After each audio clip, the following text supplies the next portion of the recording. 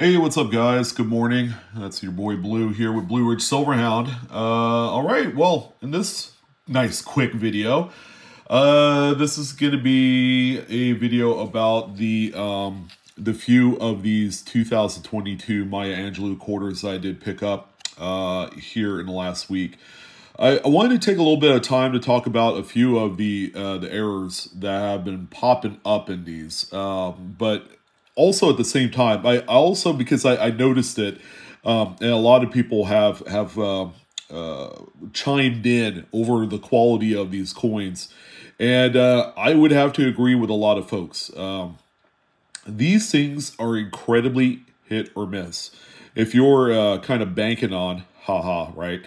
If you're banking on finding an example that that is a gem choice BU example of some sort, whatever that that is, you know, anything I guess that would grade uh, mid state 65 or higher, I think you guys will be mightily disappointed uh, with what you're going to find. So, what I have here are two examples of uh, some of the more, I, I guess, relevant errors that you could find out there on this specific coin. Uh, first thing you'll notice on here. Uh, the date is right here and the mint mark. Uh, so they're closely together. Uh, the mint did use a little bit different, I guess, type style uh, for everything. Uh, In God We Trust is right over there. Um, you'll notice on, on this particular obverse, this is the Laura Gardin Fraser obverse that the mint is using on this particular coin. Now, this is uh, the first example I'm going to show you of one of the errors. Uh, yeah, give me one second, I'll get there. But yeah, you'll notice that there's a lot of um, various nicks and stuff like that. But you'll also notice along the edge, right near kind of like this rim, uh, you're going to notice a bunch of little tiny kind of like cross-hatching scratches.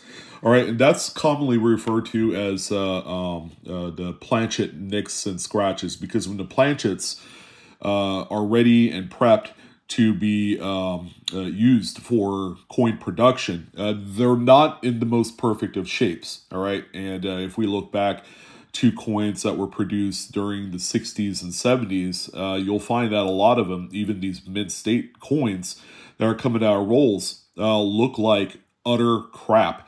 And that's the big reason why. they, they didn't, you know, have the highest quality planchets uh, before they got started. So that's what the obverse looks like. Again, uh, the reviews are very mixed on the overall design. I think it's cool that they're using a female's um, uh, earlier uh, design work and plasters uh, to to to really kind of uh, accentuate the American Women series um, that they intended to do. Now, the first one that I did buy uh, is this one right here.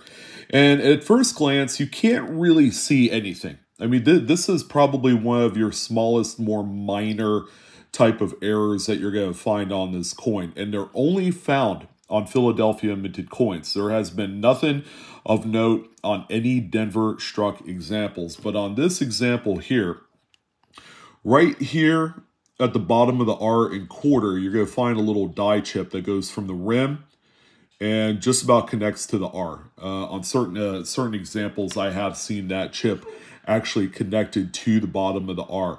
Uh, so what do they call this? Is it a CUD? Is it just a little die chip? Uh, well, even a die chip that's right on the edge like that and uh, uh, connecting to the rim and going into the actual um, field of devices, so to speak, um, that they would call that a CUD. Uh, so let me see if we get my light a little bit better here. Uh, so I can't really get in too much closer because this thing's tiny, but you can see that little raised area. Uh, I'm actually just using the um, uh, the um, up close view on, on my iPhone as good as it is. It's not great. I'm at three and a half times power right now. Um, but the best best close up is probably right there. This is at one and a half times power in case you guys are wondering the capability of your uh, iPhone 13s. This is what it can do. All right, let's see if we get in a lot closer. See, in that shadow, you can see it a little bit better. Yeah, so there's a little bit of a um, die chip there, uh, but yeah, that that's the first one. I paid twenty dollars for this one before shipping and taxes and whatnot. I think it came out to about twenty six dollars. But uh, yeah, this is kind of like the first notable one, and these have been consistently selling for around that like $10, $15, 20 dollar range. Uh, the people that have sold them for a lot cheaper obviously have had them up on eBay as uh, regular traditional auctions, uh, but these things are all over the place. There's a number of them currently on sale right now. Uh, but there you go. That's the the first one. Now the one I did not get. Well, I guess we'll we'll talk about at the end. Uh, but this is the other example that I wanted to share with you. Now it says extreme here, and that that's what was written on the um, the two by two by the seller. Uh, but he has a number of these, and I would I would suspect that he did find a nice, healthy uh, kind of cache of these uh, in in his box. Uh, but this is another 2022p, and uh, this one, as you guys know, I've talked about it. Uh, referred to as the either drooling Washington or the herpes Washington. Now, now those are my self-proclaimed kind of nicknames for this coin, but you're going to see that big, huge die chip right there on the corner of his mouth. Uh, this is, uh, I guess, the latest stage or progression of this type. Uh, there are much smaller um, little die chips, or, uh, you know, if you want a more technical kind of name for this, they call them interior die breaks. Uh, but this this one right here has the the largest formation of that chip right there. I, I don't think Washington likes to eat with his uh, mouth closed. Uh, but you'll notice on the much uh, later stages of this particular chip, you're also going to find what looks to be a little bit of a formation of another die chip right on the bridge of his nose. Whereas the earlier uh, stages of this progression or this die chip, uh, you're not going to see that at all. All right, so uh, yeah, the dies were definitely being uh, being worn down. Uh, you know, good old wear and tear as you would expect. But this one right here, as far as overall quality of the coins, is the better of the two.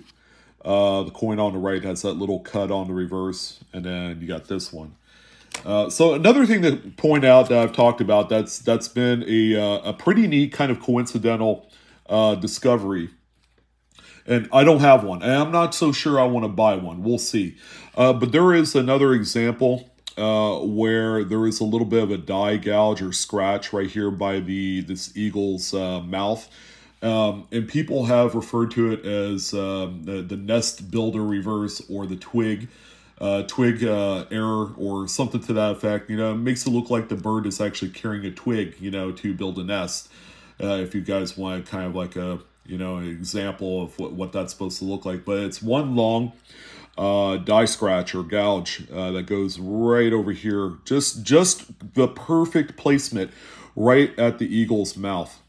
Um, and that's another one as well that's been selling very healthy in the marketplace at 15 to 20 bucks. And those, I'm happy to say, have been found in both the US Mint sourced rolls and bags uh, that they sold about a week and a half ago, uh, or you could find them in circulation uh, for that particular one.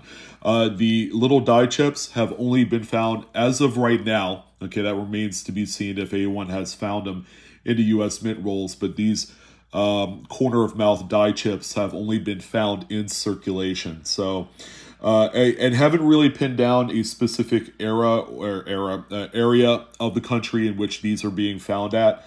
Uh, so that's also worth mentioning. I think these are more widespread than um, that than meets the eye. Uh, it might just be that this particular area on the die is more susceptible to this wear and tear. So we might even see the same die chip across all of the various um, American women quarters for this year. Uh, so that's also something to, that we're going to keep an eye out on. But as of now, ladies and gentlemen, these are the two, I guess, kind of biggest errors that you could find on these quarters. Uh, so, yeah, you guys check it out. Uh, oh, another thing that I want to point out, and uh, I'll actually leave the link below in the description box if you guys are interested. Um, myself and Adam Chambers of the Live Coin Q&A group uh, have done a um, coin grading 101 video if you guys are interested in watching that. You want to know a little bit more about how to grade coins in the process. You know, we show you how to fill out the forms and um, kind of choosing, you know, which service level is best for, best for you, kind of talking about turnaround times and other things as well, kind of all the stuff to expect before you go and invest money on grading. We also did that video as well. I'll go ahead and post the link down below here. Uh, but that's going to go ahead and do it, guys. Nice, quick, easy video. Uh, kind of a quick prelude before I do the pocket change market report this evening. So, um, yeah, thank you guys for your time. Have a great day, and I'll see you on the next coin video. So long.